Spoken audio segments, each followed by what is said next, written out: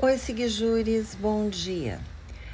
Hoje vamos falar ainda sobre BBB 22 e o fogo cruzado entre a Sônia Abrão, que é torcedora assumida e sempre foi de Arthur Aguiar, e o brother Jesse, a Jesse, e Gustavo.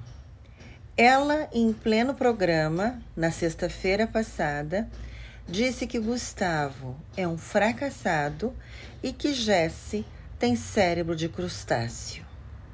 É fogo cruzado. Eles agredindo gratuitamente Arthur Aguiar após a saída da casa e Sônia Abrão, defendendo o ator e cantor, os agride em pleno programa.